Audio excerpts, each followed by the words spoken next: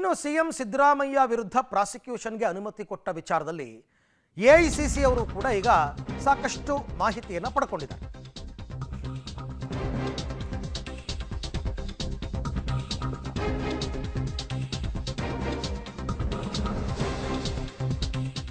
CM Siddaramaiah ವಿರುದ್ಧ ಪ್ರಾಸಿಕ್ಯೂಷನ್ಗೆ ಅನುಮತಿ ವಿಚಾರದಲ್ಲಿ ಸದ್ಯಕ್ಕೇನೋ ಸಿದ್ದರಾಮಯ್ಯ ಸೇಫ್, ಆದರೆ ಮುಂದೇನು? ಸದ್ಯಕ್ಕೇನೋ ಸೇಫ್ ಅಂದರೆ ಹೈಕಮಾಂಡ್ ಏನು ಕ್ರಮ ತಗೊಂಡಿಲ್ಲ, ನಾವು ನಿಮ್ಮ ಬೆಂ ಬೆಂಬಲಕ್ಕೆ ನಿಲ್ತೀವಿ ಅಂತ ಹೇಳಿದ್ದಾರೆ. ಈಗಾಗಲೇ ಎಲ್ಲ ದಾಖಲೆಯನ್ನು ಪ್ರತ್ಯೇಕವಾಗಿ ಪರಿಶೀಲನೆ ಮಾಡಿದೆಯಂತೆ A I C C. C M ವಿರುದ್ಧದ ಆರೋಪಗಳ ಬಗ್ಗೆನೂ ಕಾನೂನು ತಜ್ಞರಿಂದ ಪ್ರತ್ಯೇಕವಾಗಿ ಪರಿಶೀಲನೆ ಮಾಡಿದಾರಂತೆ. ರಾಜಕೀಯ ಹೋರಾಟದಲ್ಲಿ ಕಡೆ ತನಕ ನಿಲ್ಲಬೇಕು ಅನ್ನೋ ಸಂದೇಶ ಏನೋ ಕೊಟ್ಟಾಯಿತು ಹೈಕಮಾಂಡ್.